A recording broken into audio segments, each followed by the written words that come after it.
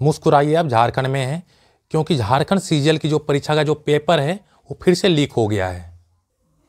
इसका मतलब है दोस्तों, इस पर, इस परीक्षा के जो आंसर की हैं, वो परीक्षा से पहले ही जारी कर दिया गया और इस आंसर की को भारी कीमतों पर बेचा गया, जिससे कि वो अधिक से अधिक स्कोर कर पाए इस परीक्षा में।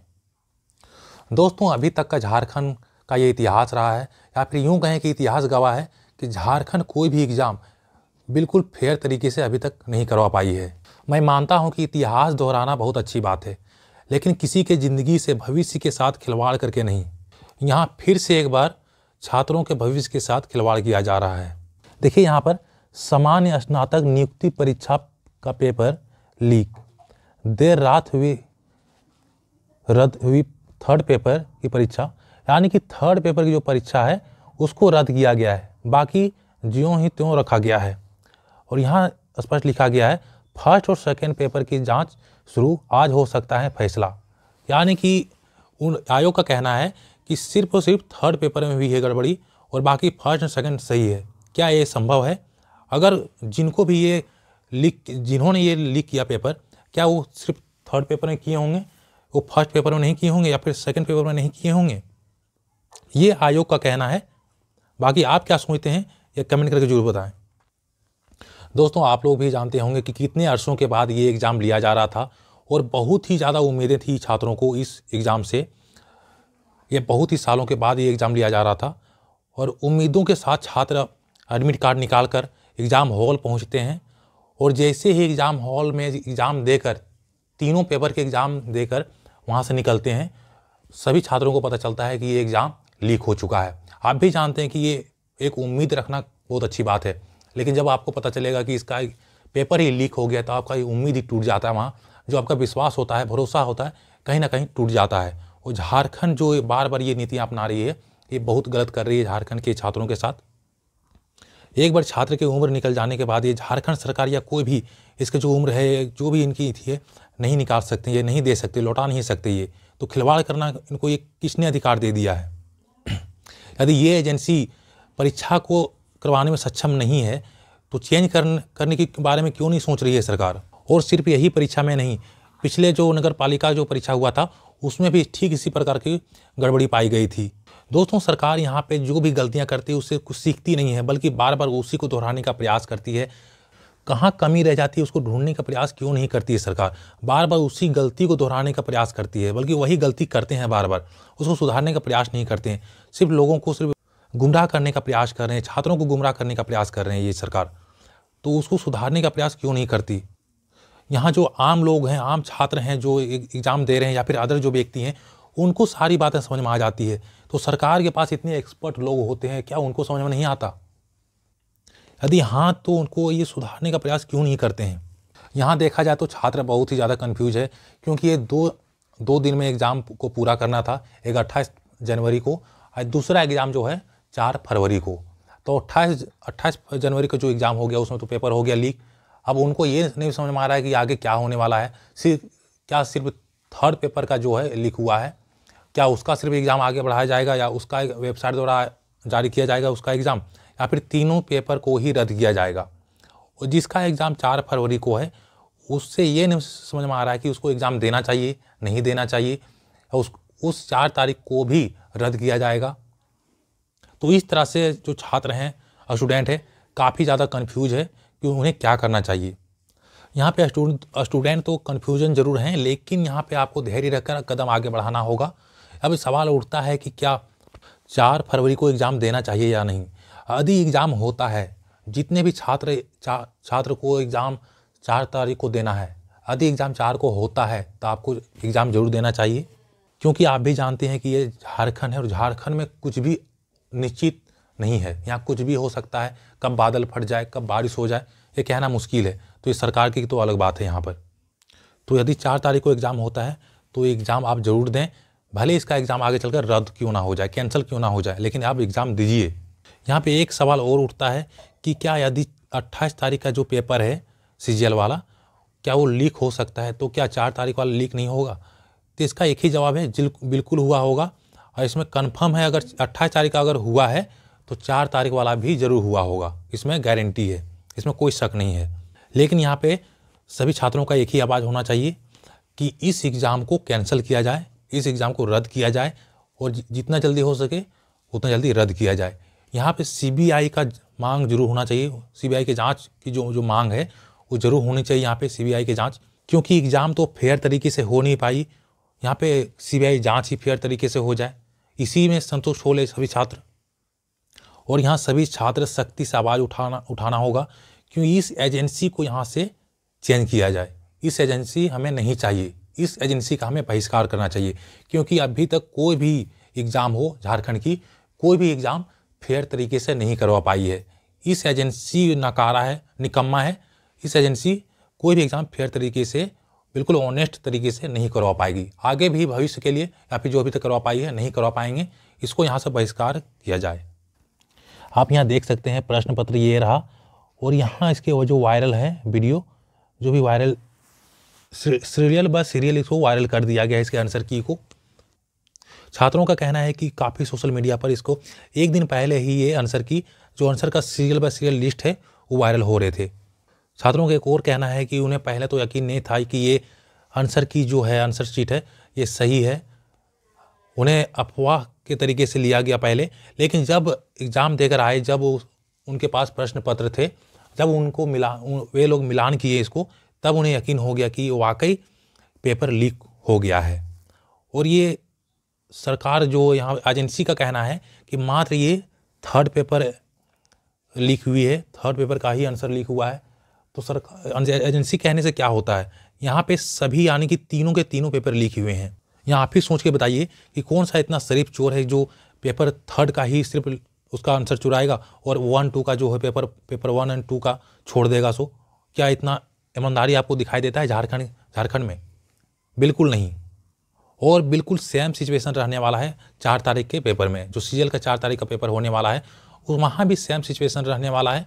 इसलिए जितना जल्दी हो सके, जैसा हो सके, इस एग्ज़ाम को ही रद्द करवाना होगा चाहिए अट्ठाईस तारीख को हो या फिर चार फरवरी को हो। दोनों ही एग्ज़ाम रद्द किया जाए। बिल्कुल एक नए सिरे से एग्ज़ाम को लिया जाए एजेंसी को चेंज किया जाए सीबीआई की जाँच हो और बिल्कुल फेयर तरीके से हो। चलिए यहाँ पे कुछ लाइनों को देख लेते हैं।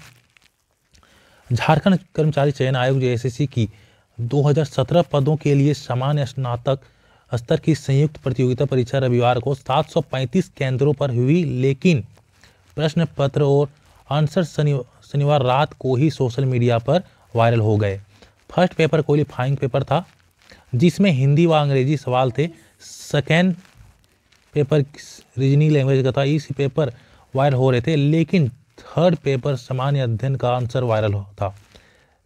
परीक्षा के बाद सवालों का मिलान किया गया तो अधिकतर सवाल और जवाब मिल रहे थे। हालाँकि क्रमांक अलग था। मामले खुलासा होने के बाद आयोग ने देर रात थर्ड पेपर की परीक्षा रद्द कर दी। यहाँ पे देखिएगा, सिर्फ़ और सिर्फ़ थर्ड पेपर की परीक्षा रद्द हुई, यानी कि फ़र्स्ट और सेकंड बिल्कुल फेयर तरीके से हुई है एग्ज़ाम। ये एजेंसी का कहना है। थर्ड पेपर की परीक्षा रद्द कर दी गई। इसकी अधिसूचना भी जारी कर दी गई।